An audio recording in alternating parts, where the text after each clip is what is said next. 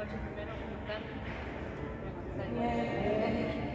Como ya saben, el día 25 de agosto empieza la segunda parte del torneo que esperamos sea mejor que la anterior.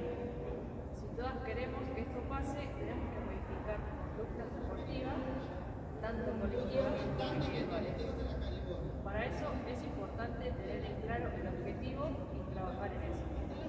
Cada una sabe cómo prepararse y todo lo que puede aportar al equipo algunos puntos para tener en cuenta, la responsabilidad, llegar a horario, preparar la cancha, entregar documentación, firmar planillas, respetar al contrincante y autoridades del encuentro.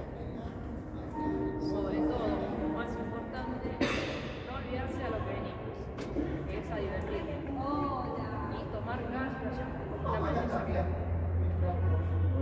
Hace mucho que jugamos juntas, sabemos que en este deporte no hay empate, es ganar o perder. Oportunidades siempre hay.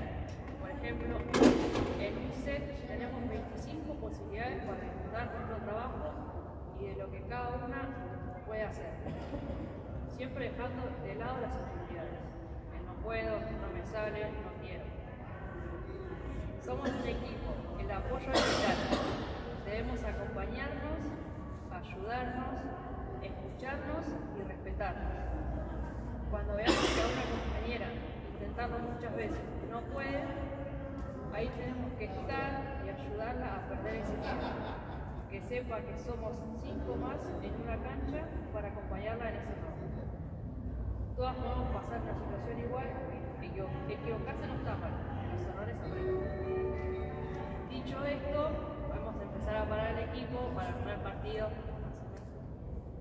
el primer partido. Eve va a ir en 1, Solcito va a ir en 2, Maru en 3, Ro en 4, La Negra en 5 y él en 6.